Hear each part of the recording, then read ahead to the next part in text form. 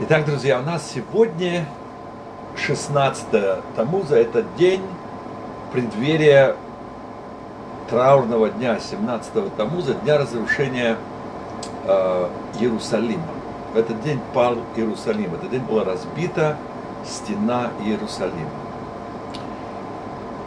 И это, конечно, бесконечно э, сложное, тяжелое событие, потому что оно повторяется из года в год.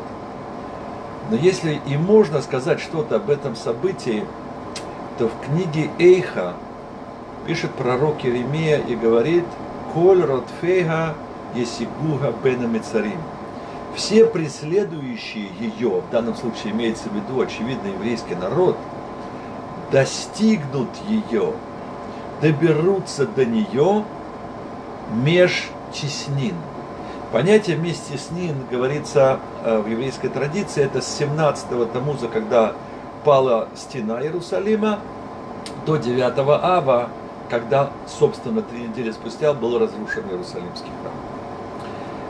И потому в это время мы преуменьшаем радость, э, особенно начиная с 1 Аба мы преуменьшаем радость. Но одновременно с этим есть и удивительно прямо противоположное мнение, как всегда бывает. Некоторые мудрецы комментируют и говорят, что пророк Ермиягу, пророк Еремия в своей книге «Плач Еремия» сокрыл также и великую тайну. Потому что она, ха, условно говоря, да, мы говорим Галилука, она – это божественное присутствие. И еврей в жизни своей стремится приблизиться к Творцу, приблизиться к совершенству. И вот говорится, что все преследующие ее, шхину, божественное присутствие, им удастся достичь цели межтеснин, начиная с сегодняшнего вечера, три недели до дня разрушения Иерусалимского храма. И когда мы спрашиваем, неужели это два разных подхода? С одной стороны, это время такое печальное, а с другой стороны, в это время как раз удается достичь чего-то, чего не удавалось достичь раньше. Очевидно, что это две стороны одной и той же медали. Иногда я помню у нас, например, в школе в Синае, когда ребята вдруг делали э, какой-то доклад по еврейской истории, вспоминали о э, Холокосте, говорили о своих семьях, которые пострадали во время Холокоста. В общем, это казалось бы печальная часть еврейской истории. И вдруг что-то пробуждалось. Когда ребята вдруг начинали сопереживать тому, что было, сопереживать еврейской истории и переживать разрушение, переживать страдания, переживать Холокосты, погромы, то вдруг что-то пробуждалось. И мудрецы говорят, что тот, кто начинает ощущать страдания еврейского народа как свои страдания, начинает ощущать свою принадлежность своему народу, и тогда, когда придет еврейский праздник, это будет не их праздник, а это будет мой праздник. Но в каком-то смысле, наверное, легче ощущать все-таки чью-то боль, как свою, чем может быть чью-то радость и успех, ибо там может быть примесь зависти. Он сумел, а я нет. Но если мы сострадаем человеку, то мы также можем и радоваться вместе с ним. И поэтому традиции говорят, что, возможно, поэтому какое-то приобщение к еврейству, к еврейской истории, оно вот как раз начинается с этого момента, то есть как бы с падения. Можно также сказать, что если мы хотим с вами Иерусалим отстроить, храм отстроить, то, наверное, как раз тогда, когда мы обсуждаем эти уроки, эти уроки разрушения, то то потому и как храм был разрушен или Иерусалим был разрушен – эти уроки как раз и преподносят нам некая, некую мудрость, некий опыт, как все-таки нам это в дальнейшем все строить. И тут потому, друзья, я хочу привести, может быть, не совсем обычный вопрос, неожиданный вопрос. Я как бы задал вопрос, мы говорим в преддверии 17-го тому за разрушение Иерусалимской стены, падение Иерусалима. Но вопрос, который я хочу задать, он общий, абстрактный. Как вы думаете, что важнее – научиться не падать или научиться вставать после падения? Что важнее? Когда я задаю этот вопрос, я хочу напомнить, что когда я со своим эм, учеником Алексом Ямпольским разговаривал о cyber security, безопасности в интернете, и он, который занимается эти, этим вопросом и, собственно, закончил, э, получил PhD Ельского университета как раз в этой области, он говорит, что изучая какие-то идеи американского генерала военного, который высказывает концепции, которые верны как э, в поле боя, на поле боя, также в области, например, безопасности, не только военной, а безопасности электронной на, так сказать, пространстве интернета. Очевидно, что те же самые принципы, они присутствуют и э, в жизни, потому что как на земле, так и на небесах. Поэтому если мы видим какие-то явления на земле, то это потому, что происходит некое отражение общей концепции небес. И если помните, я говорил об этом, что концепция этого генерала заключалась в том, что есть два типа силы. Есть сила, сила которая называется robust, а другая называется uh, resilience. То есть один человек может быть твердым, а другой может быть не столько даже гибким, сколько, наверное, resilient, это означает последовательным, да? То есть он последователен в том, что он не сдается. Он падает, но он поднимается. Приводит этот генерал два примера. Говорит, если возьмете, например, пирамиды Хеопса или, э, или эти египетские пирамиды, да, то они твердые, они простояли тысячи лет. Но если кто-то эти пирамиды возьмет и сбросит на них бомбу, то вы знаете, что произойдет? Эти пирамиды будут разрушены и превращаться в, так сказать, в, в, в развалины. Твердые превращаться в развалины. Бывают праведники, которые кажутся твердыми, несгибаемыми, такими праведными, праведными, праведными. Но иногда они вдруг разбиваются и, и рассыпаются на мелкие кусочки, и как будто их и не было. А бывают люди, которые переживают неудачи, подобно тому, как, например, военный приводил пример э, рифа, коралловых рифов, которые растут, и там тоже какие-то каменные образования. Эти коралловые рилы, рифы, они, в общем, такие не особенно и твердые. Но если даже в них попадет бомба, и какая-то часть кораллового рифа будет разрушена, кораллы будут продолжать расти в том направлении, в котором они хотят – они будут восстанавливаться, они будут регенерироваться. Также и в жизни бывают люди, которые не кажутся такими brilliant students, они не такие самые лучшие, самые умные, самые сильные, самые праведные.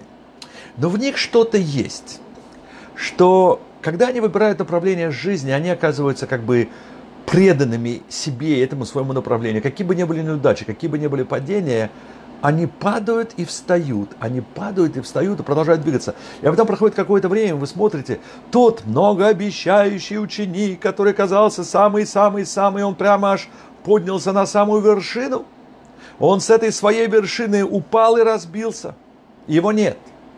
А другой, который карабкался, карабкался и карабкался – он продолжает карабкаться.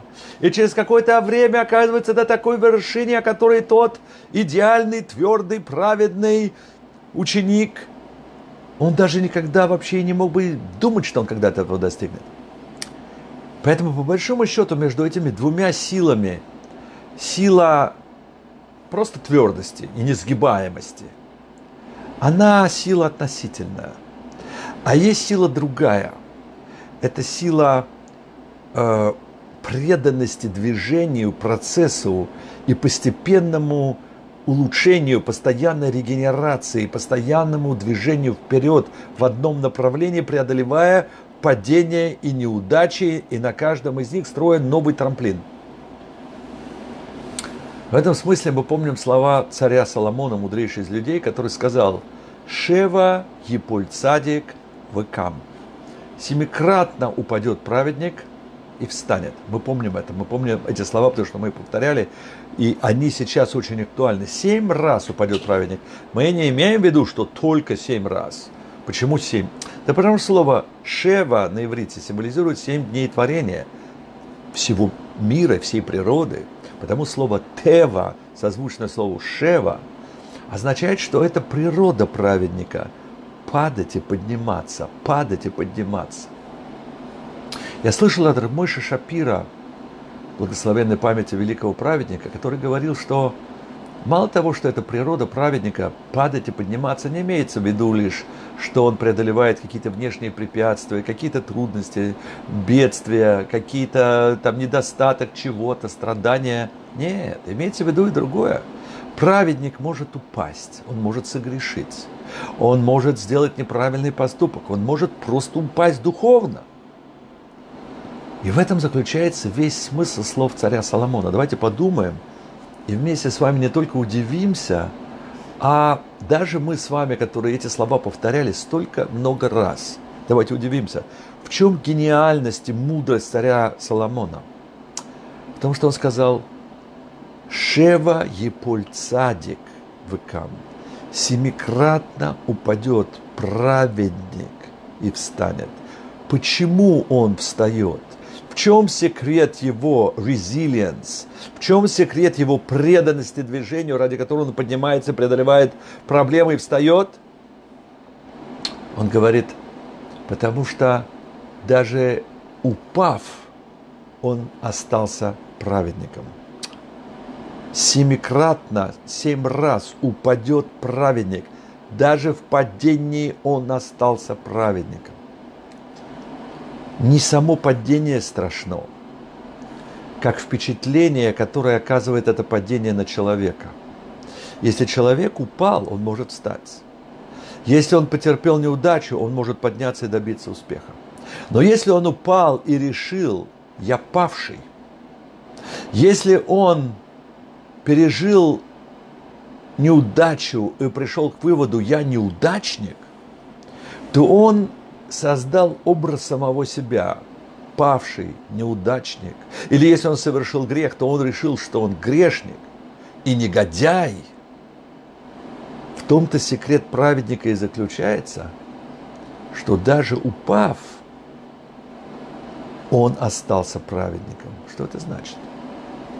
Это значит, что он не решил в сердце своем, я грешник, я неудачник, я негодяй. Он сказал, я и душа моя стремится к добру. Он не сказал, я плохой. Он знает себя, он понимает и знает стремление сердца своего.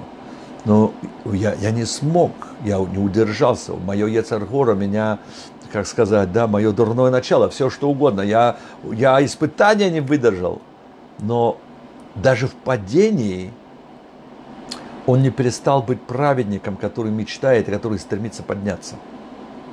И вот это и есть сила resilience, сила подняться. Я помню, когда я говорил с таким Юрием Табах, Табаха, может быть, знает такого человека, так сказать, отважного э, капитана военно-морских сил США, приехавшего ребенком сюда из э, Советского Союза. Я у него как-то, делая интервью, спросил, что означает быть морским пехотинцем, что означает быть воином. Он говорит, воин это тот, который может быть в бою, упал, Ему, может быть, наступили на глотку или ему наступили на грудь, но он, не, он продолжает бороться. Он никогда не сдается. Поэтому что такое праведник? Праведник – это выбор. Может быть, кто-то сказал бы, о, один родился праведником, другой родился негодяем, один родился оптимистом, ему, естественно, верит, другой пессимист, он Фома неверующий. Это все генетика. Может быть, действительно, у кого-то кто-то более предрасположен к чему-то, возможно. Но в конце концов, какие бы ни были у человека гены, какие у него не были бы предрасположенности, это в конце концов мужественный выбор человека быть воином. И сделав выбор в своей жизни, не сдаваться, а бороться. И после каждого падения подниматься. А для того, чтобы подняться после падения – нужно не сдаваться даже в момент падения. И потому, что это за сила такая не сдаваться в момент падения? Я открываю сейчас слова, которые произнес Белам негодяй, мы так его называем, Белам Араша, Белам негодяй. Он хотел еврейский народ проклясть, но Всевышний перевернул его проклятие в благословение. И вот царь Балак просит его произнести слова проклятия. и говорит, иди сюда, может быть, ты не смог раньше сказать, и тут вместо слов проклятия ты сказал, про как прекрасны шатры твои, Яков, и жилище твои, Израиль. Я сказал тебе проклясть этот народ, а ты благословил его. Что ж ты сделал? Иди сюда, давай посмотри вот с этой стороны, посмотри вот здесь, отсюда. Может быть, здесь ты увидишь. И вот говорит, отвечает ему а, пророк, так сказать, народов мира, так его называем, экстрасанс Билам. Он говорит, лохи бит авон бы Яков, велораа амаль бы Израиль. Очень важные слова. Я хочу намекнуть на то, что в этих словах бесконечная мудрость, и я не знаю, смогу ли я адекватно сейчас ее раскрыть. Поэтому я хочу сразу сказать, я не смогу ее раскрыть, я смогу только намекнуть на то, что там сокрыто. И мне кажется, что то, что там сокрыто, там сокрыта тайна, как отстроить разрушенный Иерусалим и разрушенный храм и разрушенную душу человека. Потому что что говорит здесь Белам? Он говорит, он говорит, очевидно о Всевышнем, потому что ведь смотрит Белам для того, чтобы увидеть недостатки народа Израиля. И увидев что-то, что достойно проклятия, поднять как бы к небесам, э, воздать э, мольбу прокурора и сказать, посмотри, что происходит с этим народом, смотри, что они делают – эти плохие евреи. Накажи их. И вот потому всматривается Билам в этих плохих евреев с той стороны, которую поставил их царь Балак, для того, чтобы увидеть в них недостатки. Почему так это важно? Потому что как часто мы смотрим на других людей и осуждаем их, и судим их, и замечаем недостатки, говорим о их недостатках, и говорим злословия, даже если это правда, это все равно остается злословием. И вот здесь посмотрел Билам, и вместо того, чтобы проклясть, он тут произносит следующие слова и говорит, не увидел, имея в виду Всевышний, Всевышний не увидел несовершенства, недостатка в Якове, не увидел греха в Якове, если, скажи, если хотите, так мы можем сказать. Всевышний не видел греха в Якове, и он не увидел даже как бы несовершенства в Израиле – не видит он. Потому что Всевышний, Бог их, Бог народа этого, с ними, с этим народом. И труас мелахбо. Что такое труа? Мы бы сказали, что слово труа – это звук шуфара. Те, кто из вас бывает в Рушанута, вы слышите труа. Это когда звучит да-да-да-да-да-да-да-да. А что такое да-да-да-да-да-да? Вообще это, это приход Машеха. Это мольба о Машехе. Поэтому действительно мудрецы говорят, что это, это действительно мольба о Машехе, но на самом деле в слове труа корень слова руа или реа, и отсюда слово реэха, ближний твой, друг твой, отсюда заповедь веавта лереэха, возлюби ближнего, близкий, дружный. Поэтому конкретно, например, мудрецы, Раши переводят здесь и говорит, вы знаете, почему Всевышний не видит недостатков в народе Израиля? Да потому что он их Бог, он как бы их отец, он их любит, он с ними дружит, и он не хочет видеть их недостатков. Если так на поверхности произнести эти слова – если мы чуть-чуть заглянем вглубь и откроем книгу Насива с Шолом, то в ней вскрывается такая вещь, приводятся слова мудрецов, в которых говорится, давайте я это по-своему, как бы с вашего позволения, расшифрую. И скажу, вы знаете, Всевышний не видит недостатков евреев. Позволю себе в, сам, в самый конец комментария на Шолом прыгнуть. Но Всевышний действительно не видит недостатков народе Израиля. Вы знаете почему? Да потому что э, Всевышний с ними, это потому что они с ним. Одно дело, человек упал и сказал, я негодяй, и я такой, и, и я в другом мире, в другой плоскости. Я все бросил. Я бросил эти игрушки в эту праведность.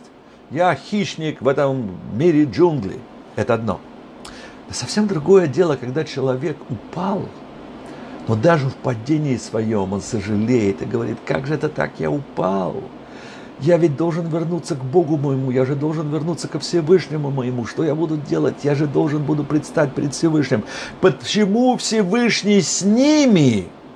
Да потому что они с ним даже в грехе своем.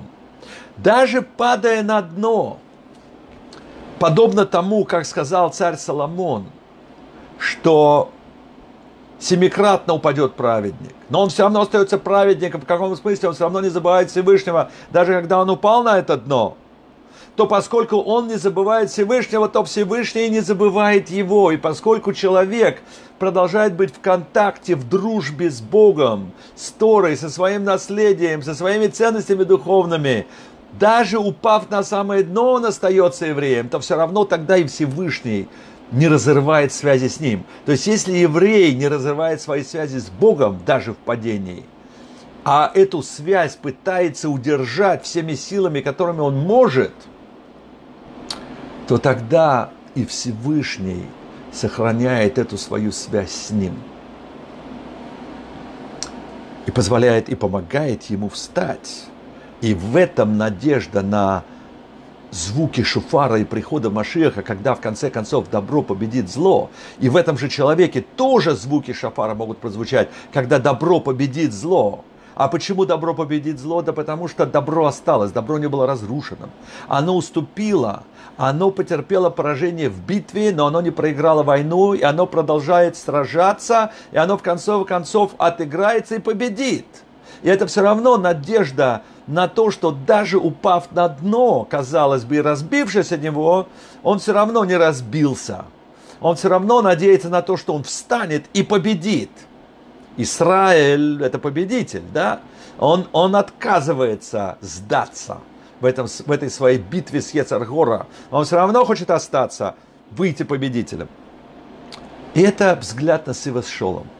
Я хочу привести сейчас замечательную книгу Рабы Тверского «Living Each Week», да, это идеи знаменитого доктора, занимающегося вопросом алкоголизма и наркомании, и э, параллельно с этим он, э, так сказать, потомок чернобыльского рэба, Тверский, и он приводит здесь комментарий э, и вспоминает о знаменитом праведнике Леви Ицека из Бердичева, который был известен тем, что он отказывался видеть недостатки в людях. Настолько, что о нем говорили, что вот это самое предложение, он не видит недостатка в Якове и не видит несовершенства в Израиле. Сказано не о ком-нибудь, а Леви Ицеке из Бердичева. Вы помните, что когда шел какой-то еврей по Бердичеву и спрашивал Леви Ицек, сегодня шабас, а ты куришь? Может быть, ты не знаешь, что евреи в шабас не курят, он говорит, нет, я знаю. Может быть, ты не знал, что сегодня шабас. Нет, я знаю. И тогда Леви Ицек, так сказать, возносил руки к небесам и говорил, посмотрите, какой честный еврей. Он всегда хотел найти в человеке что-то хорошее и, найдя это хорошее, оправдать его.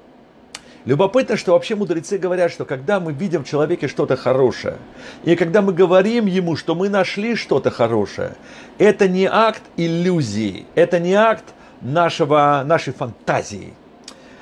Хавы данный кавсхус, то есть когда мы склоняем человека на чаше весов к добру, не имеется в виду, что мы только склонили его к чаше весов, к добру в нашем сознании, в нашем сердце, в нашем, так сказать, judgment, то, как мы его судим.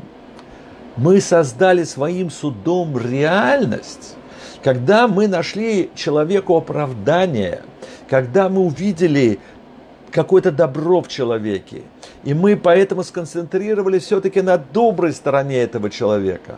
Мы не видим, как я вам говорил, подобно Солнцу, которое никогда не видит так сказать, dark side of the moon. Оно не светит на темную сторону Луны, потому что оно не видит темной стороны Луны. Также и мы, может быть, отказываемся видеть темную сторону нашего ученика или нашего близкого.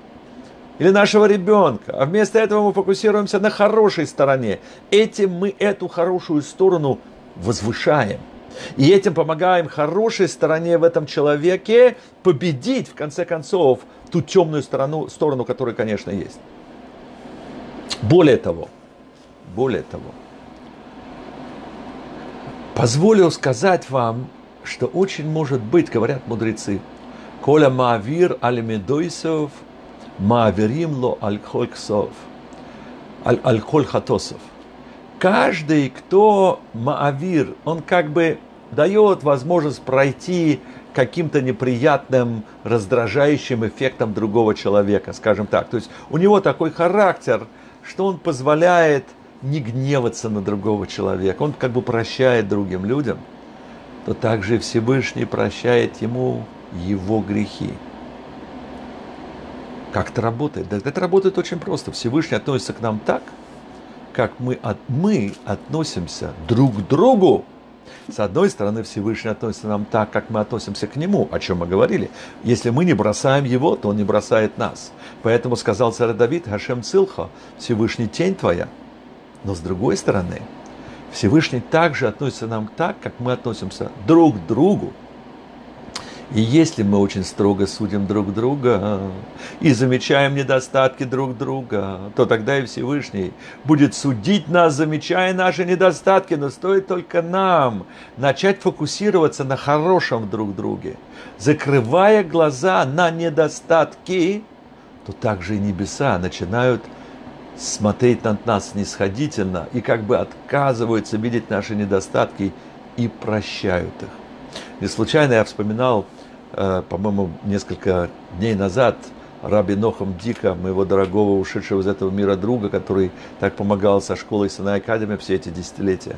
Он говорил мне, before wedding, people should look in. After the wedding, you should look away. То есть есть искусство жизни видеть реальность, всматриваться, анализировать, видеть нюансы. Да, очень нужно уметь распознавать зло, и тому есть свое время и место – именно, например, скажем, Ривка, в отличие от Ицхака, могла видеть определенные, э, э, определенные недостатки там, э, в Лаване, правильно? То есть были люди, и, точно так же Сара кое-что могла распознавать лучше, чем Авраама. То есть Ривка увидела в Исаве недостатки, которые не замечал э, Ицхак, потому что он пришел из другого мира. Так или иначе, бывают ситуации, в которых, да, мы должны видеть реальность таковой, какова она есть, и знать зло, и уметь с ним бороться. Совершенно верно. Но искусство в жизни знать, когда делать это, а когда делать обратное.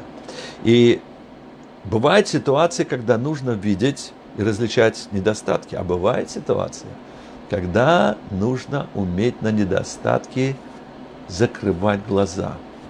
И какова же огромная награда за это?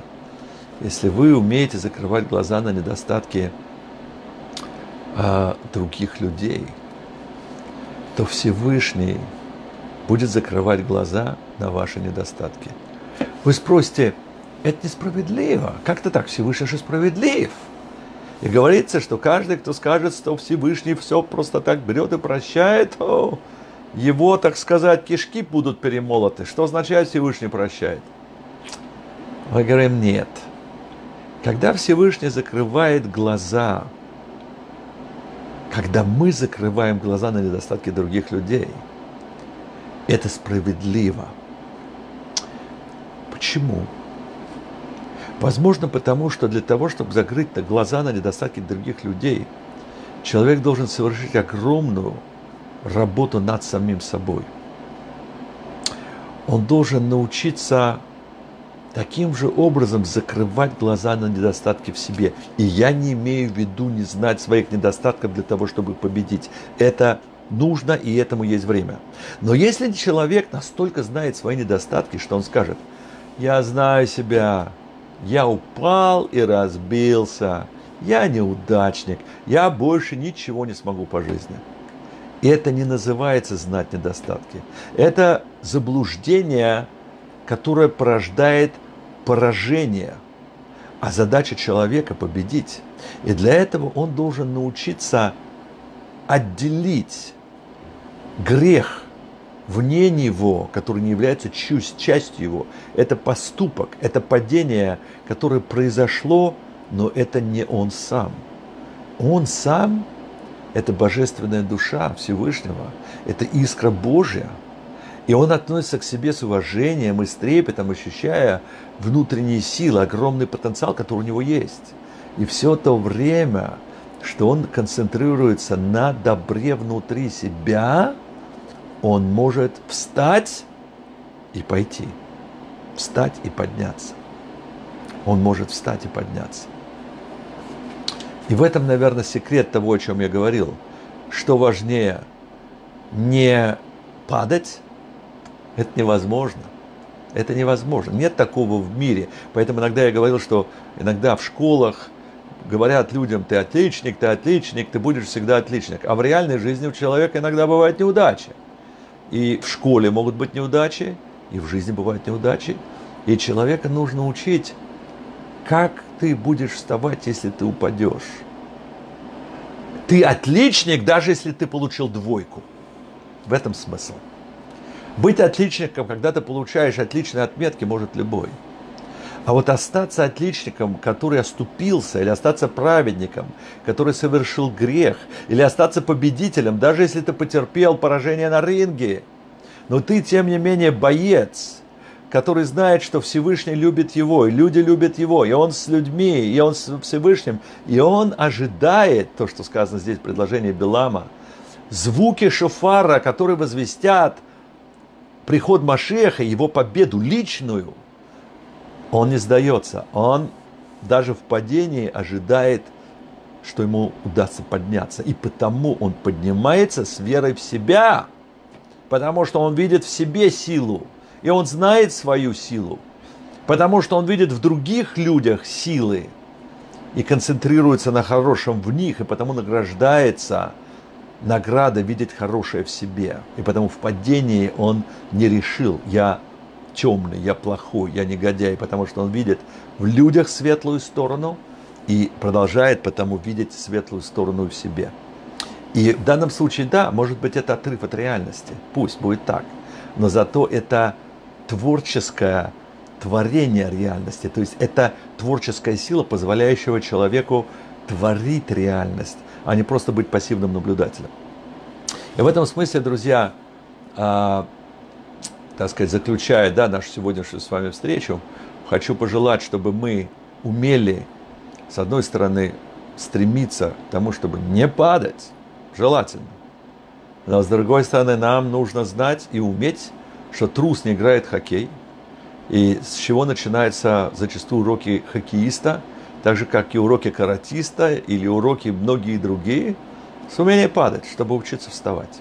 Поэтому я надеюсь, что мы также будем уметь не только отмечать, так сказать, уроки падения 17-го Тамуза, но мы отсюда же извлечем уроки того, как, несмотря на то, что Иерусалим нам когда-то разрушили, а потом повторили, разрушили его еще раз, и нас изгнали, миллионов евреев преследовали на протяжении тысячелетий, еврейский народ встал из пепла и отстроил сегодня Иерусалим.